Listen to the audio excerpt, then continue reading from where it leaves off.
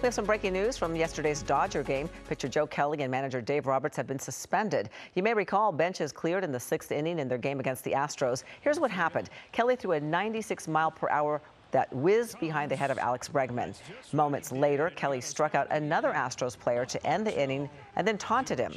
Benches cleared, but no punches were thrown. Kelly was suspended for eight games. Roberts received a one game suspension.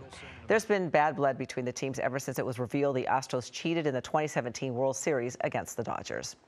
Hello, I'm Mark Brown. Click the ABC7 logo to subscribe to our Eyewitness News YouTube channel.